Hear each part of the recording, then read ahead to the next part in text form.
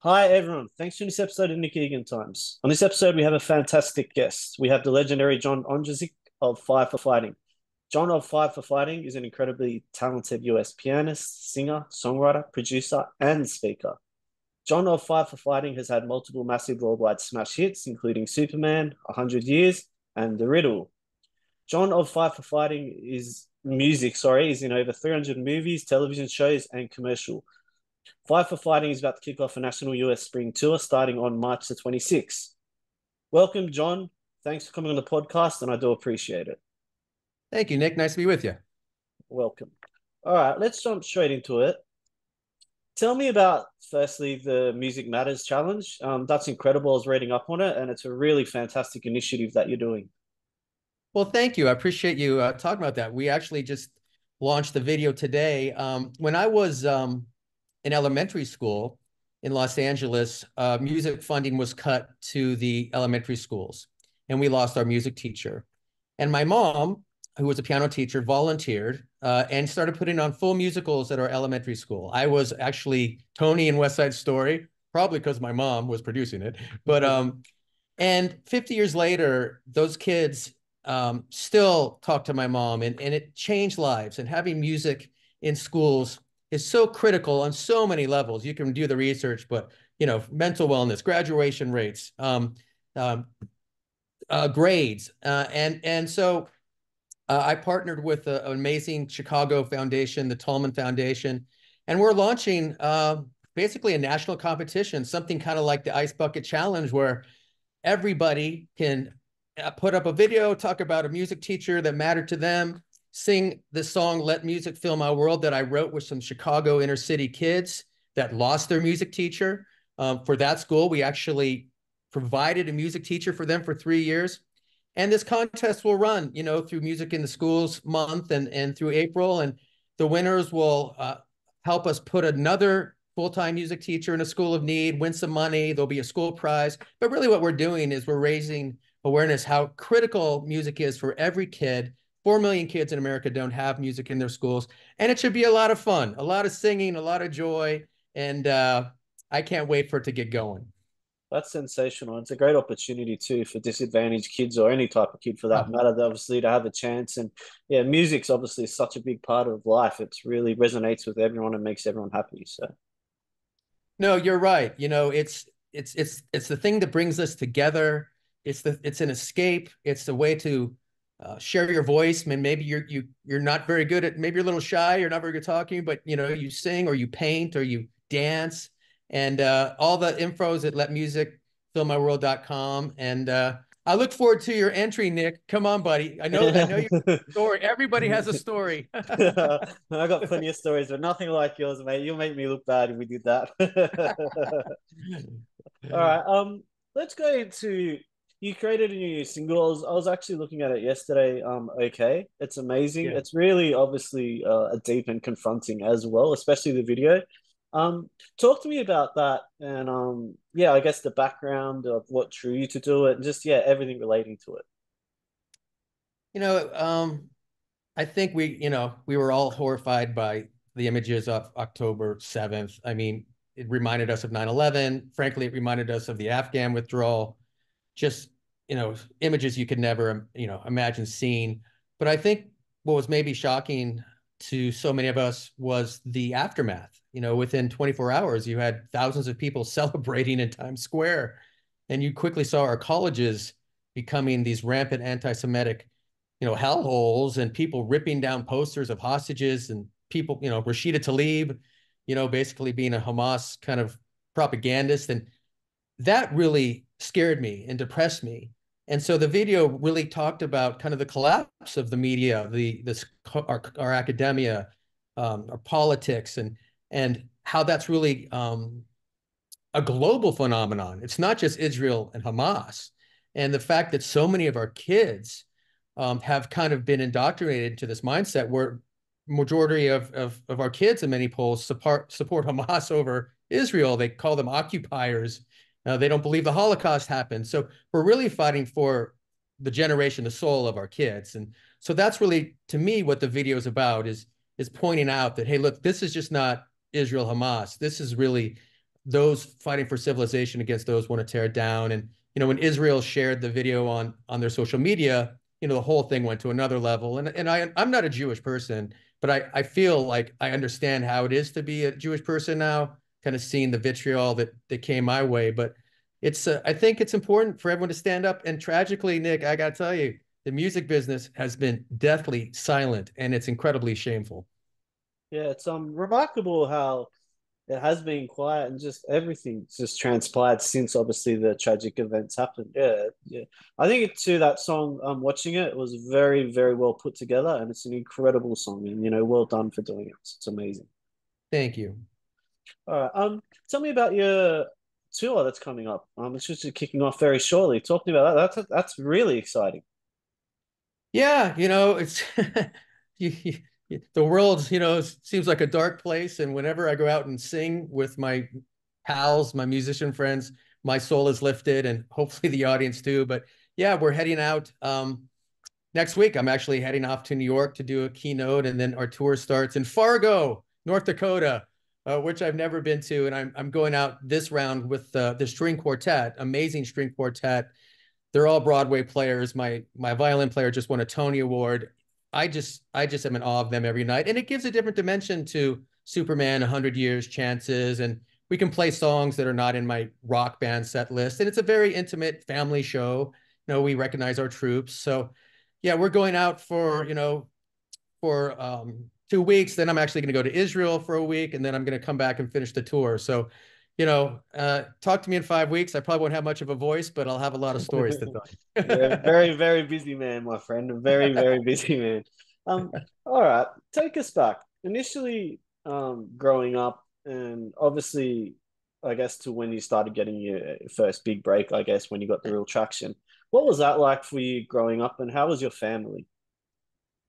Yeah, I had a you know a really blessed childhood. You know, my my parents are amazing. Uh, as mentioned, my mom was a piano teacher. My dad was an astrophysicist, um, worked at NASA. So I kind of had, you know, the engineer's genes and the musician's genes. And uh, when my grandfather passed away, my dad took over his business, which was a manufacturing business, uh, wire manufacturing.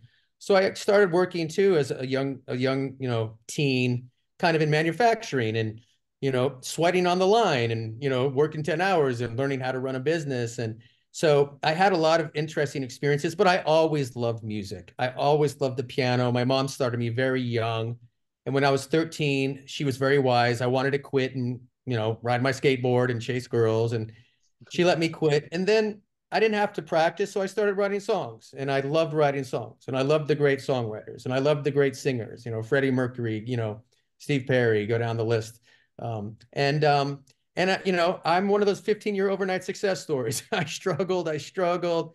You know, I had a couple record deals, the record companies closed, you know, closed, and but I finally kind of the stars aligned, and it kind of a miraculous way, Superman um, became popular, and then certainly after 9/11, it took another kind of meaning for the country, and um, and I've been able to kind of do it do it for 20 years, and and uh, certainly I'm not I'm not Elton, I'm not Billy, but I'm blessed to have uh, a career where I can kind of write and sing songs and people can sing them back to me.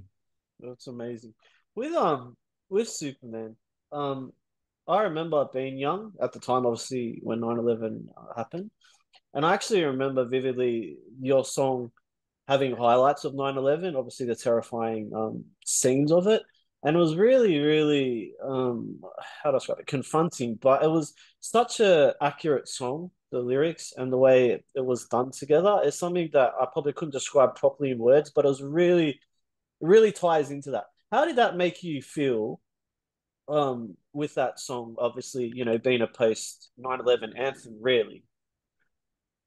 Yeah, it's surreal. I mean, you know, you never want to have your song, you know, you never want to see something like that happen. And um, you can never imagine your song being associated with such an evil act. But at the same time, you know, music can provide solace in a unique way. I was actually in London on 9 11, and it took me, you know, 10 days to get back. You know, people, you know, will remember of my age, you know, there were no planes, there was no flights. and I didn't really realize what was happening with Superman until I got back, and and then I saw on the news, you know, a lot of stations were doing that, you know, intercutting some of the heroes running into the buildings with Superman, and particularly New York City embraced the song. And so for a kid, you know, you know, I have to say a young man who who just gotten used to hearing his song on the radio, all of a sudden, you know, you're at the concert for New York with all the icons of the world playing that song. You know, any other day in your life, you'd be like, oh my God, this is like a hundred dreams come true. But of course, it wasn't that that day. You're talking to the families and you're crying. And so I'm glad the song was there when the country needed it. I saw firsthand how music can, you know, you know, transform people. And it's not about record sales and hits and fame and fortune. And it's not, it wasn't my performance, but I remember when The Who came on and, you know, blew the roof off Madison Square Garden playing Baba O'Riley. you know, you saw 20,000 people who many of them been down at ground zero for, you know, from day one, digging through rubble, finding bodies. You know, they were crying, they were singing, they were screaming, they were hugging each other. And I think for the first time, they had a chance to, to release everything inside them. So that was an education to me. And it kind of led to me doing a lot of work with our troops and Gary Sinise and USO, you know, um, to kind of let let music be a, a, a, tool of wellness for them. So I think that education kind of formed maybe my, you know, a lot of my career, but still to this day, you know, 23 years later, I, it's hard to wrap my head around what Superman became and, and the performance of Concert for New York, but I'm glad it was there when people needed it. Yeah, amazing, and it's a timeless hit too. Like you know, I even I have those two songs, that and Hundred Years. Um, they're my two up there, my favorite songs. So yeah, it's oh. actually briefly tell me about Hundred Years too. What was inspiration behind that behind that song? Yeah, well, you know, after Superman, it's kind of like how do you follow that? You know, you know, one hit wonder. Um, and it was really hard. I, I spent two years trying to write a song that could like not be Superman, but be like that guy. And, and I struggled. It took a long time. And I was sitting, you know, on the couch one day with my two little kids. I had two kids, and at the time they were like three and two. And, you know, I'm one of those guys that's always like dwelling on the past or future tripping. And I had this kind of moment of clarity. I'm like, look, man, you know, you're realizing your dream. You know, you actually have a song people know. You have two little kids on your lap. You have a great wife and family. You live in the freest country that's ever existed on this planet. It's like, you know, can you at least recognize that for a minute? And I'm like, well, you know, it's a common thought, but maybe there's a song here. You know, uh, maybe a wish is never better than this. You got a 100 years, and the verses are stages of our lives. And so I kind of sat at the piano and came up with that little piano hook and and kind of dug in. You know, Superman came very quickly. It came in like an hour, which was like a gift from God. But 100 years took two or three months, and and um, but again, I, I, you know, I love, I love playing Hundred Years because we're all in there somewhere, right? You know, I was, I was in the second verse when I wrote it. Now I'm in the bridge. Soon I'll be in the vamp, and then I'll have my last note and bye bye. you know, but uh, but yeah, it's uh, it's, it's still a lot of fun to play both those songs. That's really impressive. All right, mm-hmm. um, what's the best piece of advice you've ever received? Oh my god, um, you know, my dad is a very kind of amazing, simple man. He's smartest man, the, you know, the you know the best man. He's never had a drink. I've never heard him curse. You know, he's just old school, like you know, really old school guy. And you know, his philosophy is very simple. It's like you know, treat people right. Um, you know, own up to it when you make a mistake, and you know what really matters is your family you know um, we get obsessed with so many things I, you know I, I can't say i've been as good as i probably should have been about his life lessons but my dad's been a great role model for me and just the way he lives his life and and what's important to him and um and kind of his grace um so I, would have to say that that for me uh, i was very lucky to be born you know to not just him but my mom as well amazing and um what inspires you daily? I'm sorry? What inspires you daily? Huh, what inspires me daily? you know, it comes in the strangest places. You know, um, I don't know if it's daily, but you know, when I uh, wrote the Afghanistan song, I started working with some of these NGOs evacuating Americans and allies. and I was so kind of kind of disgusted with our government. But then I'm meeting these Green Berets that are going undercover into these war zones, pulling people through sewers at night, getting them on airplanes, sleeping two hours a night, you know, losing 40 pounds, and then, you know, doing it again and again. And then they go to Ukraine and then they're in Israel. And then, it's like, so through through my kind of career, I've met heroes that people will never know their name. So you have people like that. And then just the other night, I spoke to 500 um, high school and college kids, many of them Jewish, not all of them, but you know, on the front lines fighting this anti-Semitism. You know, they're 16 years old, 17 years old, and they're under this kind of threats and bullies and and and to see their fortitude and their clarity and their maturity that gives me hope and that inspires me you know? So um, you never know what's going to where it's going to come but i've met some amazing people you know throughout my career. And as i said many of those folks you'll probably you'll never know their name but that's where i get my inspiration. Fascinating. Um well what has been out of i guess you've had such an illustrious career and you know obviously you've done so much. What are those specific fondest memories that just come to you when you look back and go wow. What are can you share some of those just key memories that just come to you like wow that was a pinch me moment man there's been so many. I mean certainly playing madison square garden um, a couple times not by myself but with radio shows or the concert for new york you know you you play in these iconic venues you know you go around the world and you you play in different countries.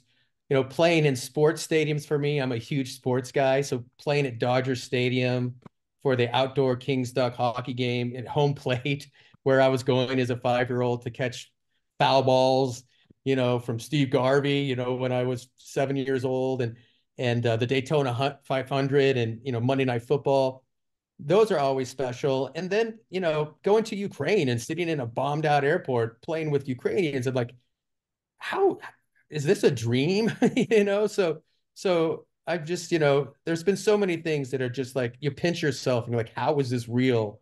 Um, but you know, that's kind of music, right? I mean, music creates miracles and um and uh I've certainly been the benefit of a couple of them. What is your legacy you would like to leave? Oh my God. um, to be the best hockey prognosticator on earth. No. um, um, you know, I don't know. You know, everybody, you know, I, I hope, you know, I try to be a good dad, a good husband, a good son.